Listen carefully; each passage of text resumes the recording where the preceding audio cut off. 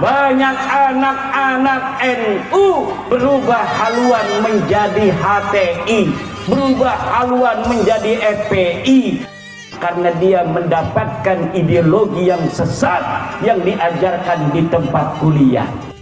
Masuk aja organisasinya PMII punya Nahdlatul Ulama. Selalulah alaikum binahdlatul ulama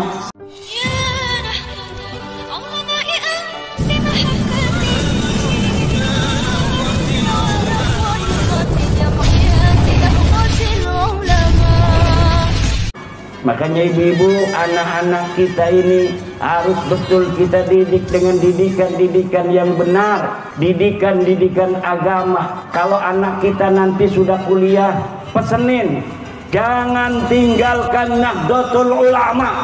Jangan tinggalkan Nahdlatul Pesan begitu. Kenapa?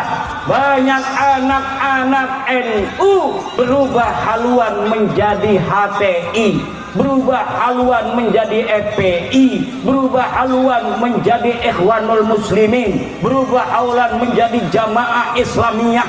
Akhirnya dia kafirkan ayahnya, dia kafirkan ibunya karena ibu dan ayahnya masih punya KTP Indonesia yang menurut mereka orang-orang yang masih mempercayai Pancasila sebagai dasar negara adalah orang-orang kafir dia yang tidak mau menegakkan syariat Islam kata mereka.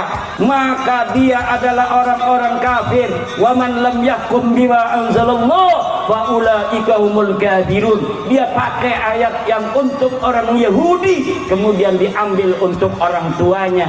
Karena dia mendapatkan ideologi yang sesat yang diajarkan di tempat kuliah maka harus diwasiati. Nah dok kamu kuliah nanti hati-hati kalau memilih organisasi. Masuk aja organisasinya PMII punya Nahdlatul Ulama. Jangan macem-macem ikut-ikut yang tidak jelas.